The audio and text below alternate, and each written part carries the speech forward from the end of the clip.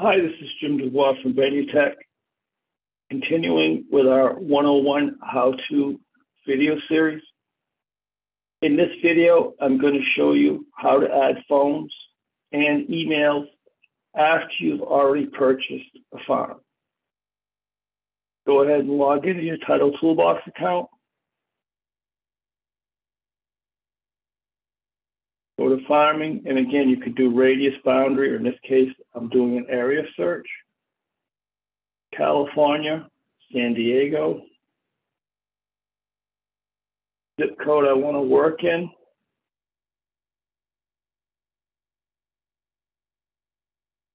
Nine two, excuse me, one oh three.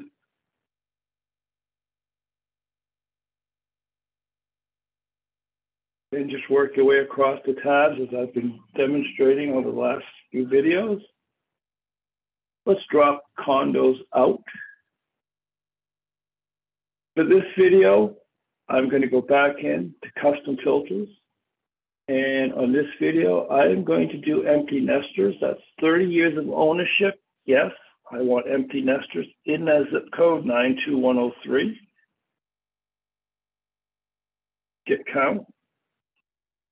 371 empty nesters.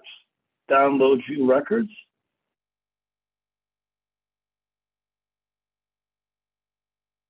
The map is on the left here.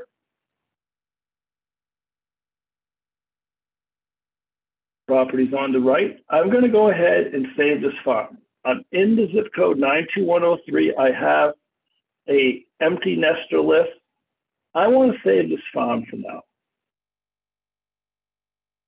I can name it.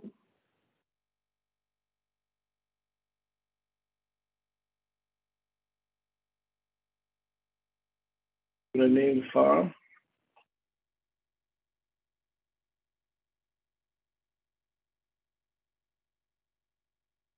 Empty nester video farm. Save. 371 properties, I'm successful. If I go to farming, and there is a video on how to locate your farm, but if I go to farming, down to farms, save farms,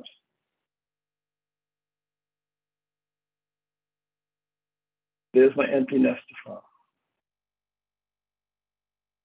I select the farm and bring it up.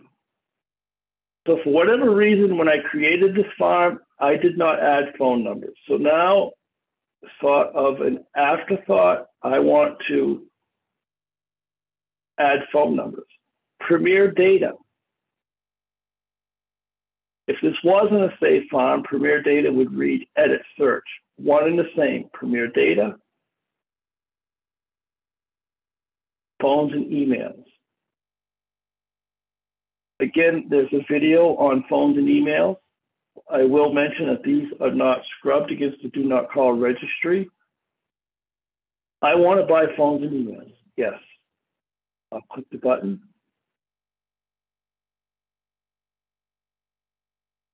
I can limit records if you weren't aware of that. And I'm going to buy a dozen. Get count.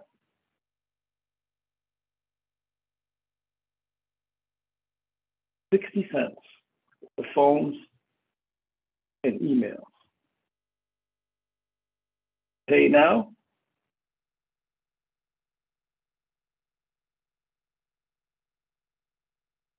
There's a video on our YouTube channel about the wallet. Farm name, I'm going to name this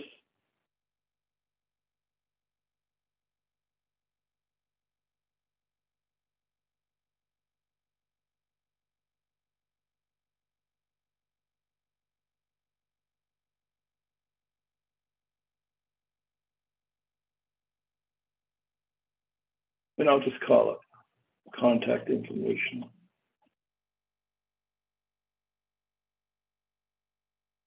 All right, empty nesters, test video, contact information. We have an auto spell correction. Stay secure. The point of this video is twofold. One, to let you know that yes, you can purchase phones and emails after the fact. The other purpose of this is here's your farm now, 12 properties with phones and emails, and you can read that we're still working on locating those phones and emails. But if I go into farming, down to save farms, second point I want to make, oh, excuse me, my error, farming down to save farms. Second point I want to make here is this. Here's the original farm, empty nester video farm with my 371. If you remember, just for the sake of this, I could have bought all 371, but I only bought 12. Now, the drawback is I have two farms.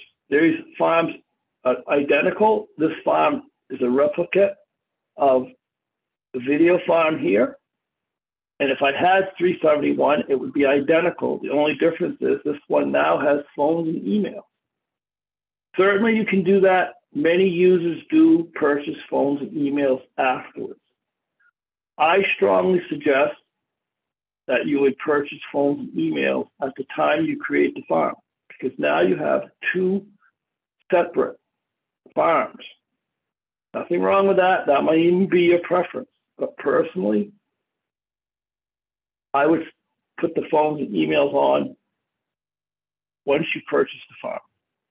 And then, of course, your phones and emails will be right here. So if we located any emails, it looks like we didn't locate emails. But if we did, there would be a column for emails right here.